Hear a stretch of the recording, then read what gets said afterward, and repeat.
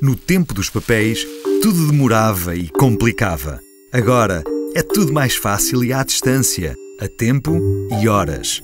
Tirar o passaporte ou renovar o cartão de cidadão em casa ou via agendamento é possível. Parece magia, mas é simplex.